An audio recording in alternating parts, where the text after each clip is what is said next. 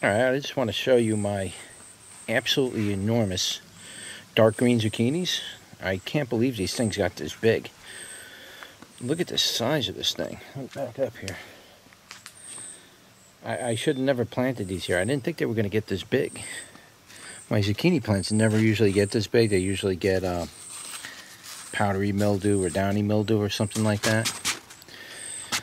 But they're huge. Look what they're doing down here. It's growing and then it's dropping all the way down now. This thing's going to go all the way down to the floor. it's kind of blocking all my other vegetables, but it's all right. Kind of protects them from the sun a little bit. It's been really hot. But here's a zucchini. A nice one right there.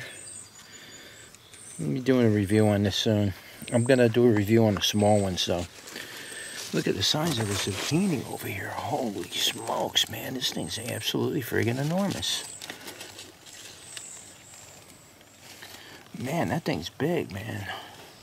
See the little ones? I'll do the I'll do a taste test on the small ones. Those are the ones I like to eat while they're small. I don't like when they get big like this. Unless you cook them, you know. Or you're making them with uh, salad or something. But yeah, look at this thing. This thing is absolutely huge. And and it's growing downward. This thing, this plant is growing down. It, this thing's going to grow all the way down to the ground. That's weird. That is really strange. I, I'm, I'm a little confused as to how to deal with this but you could see it's blocking out a lot of light from my, my vegetables, which isn't good. So hopefully um, doesn't get much bigger than this. If it does, I don't know what to do. I may have to cut it at some point. Just remove it or maybe remove some of these leaves.